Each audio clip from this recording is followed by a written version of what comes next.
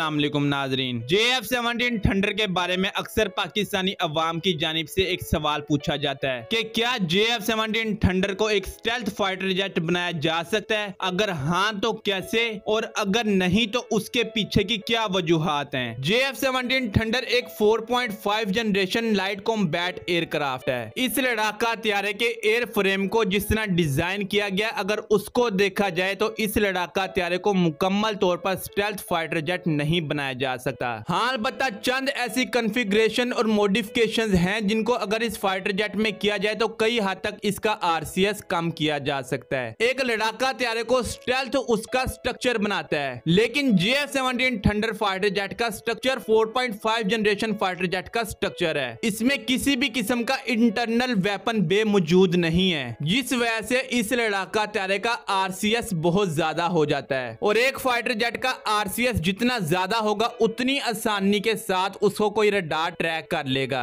J S seventeen Thunder block two का RCS 2.0 है और वहीं J S seventeen Thunder block three का आरसीएस 1.5 है। जे एस सेवनटीन थंडर का रडार क्रॉस सेक्शन इस वक्त जितने भी 4.5 जनरेशन फाइटर जेट्स दुनिया में मौजूद हैं, उन तमाम से कम है। जिस वजह से इस लड़ाका त्यारे को आसानी के साथ ट्रेस नहीं किया जा सकता। उसके अलावा J S seventeen Thunder block three में सतावन फ़ीसद रडार कंपोजिट मटेरियल का इस्तेमाल किया गया है। इस वजह से भी इसको आसानी के साथ ट्रैक नहीं किया जा सकता। अगर हम अपने जे एफ़ सेवनटीन थंडर के ऊपर स्टेल्थ कोटिंग कर दें और इसमें रडार कंपोजिट मटेरियल को बढ़ा दें, उसके साथ साथ इसके स्ट्रक्चर में भी चंद तब्दीलियाँ कर दें तो इसका रडार क्रॉस सेक्शन बहुत कम हो जाएगा। और रडार क्रॉस सेक्शन कम होने की वजह से इस लड़ाका त्यारे को आसानी के साथ ट्रैक नहीं किया जा सकेगा। हाँ अलबत्ता इन तीन तीनों चीज़ों की वजह से इसका डार्क क्रॉस सेक्शन कम तो हो जाएगा, लेकिन यह मुकम्मल तौर पर स्टेल्थ नहीं हो पाएगा, क्योंकि इसको स्टेल्थ फाइटर जेट की तरह डिज़ाइन ही नहीं किया गया। पाकिस्तान एयरफोर्स की जानब से इस वक्त J S seventeen Thunder block four पर रिसर्च वर्क शुरू किया जा चुका है। इस वक्त Pakistan air force J S seventeen Thunder block three को डीपली एनालाइज कर रही है। इस लड़ाका हत्यारे के एयर फ्रेम में जो खामियाँ मौजूद है, उनको मार्क किया जा रहा है, और आने वाले वक्त में इस लड़ाका इलाका त्यारे में किन किन चीज़ों का एडिशन करना चाहिए? इस बारे में सोचा जा रहा है। इस चीज़ को देखते हुए कहा जा सकता है कि पाकिस्तान एयरफोर्स आने वाले वक्त में जो जे एफ़ सेवनटीन थंडर का ब्लॉक फोर बनाएगी, उस लड़ाका तेरे का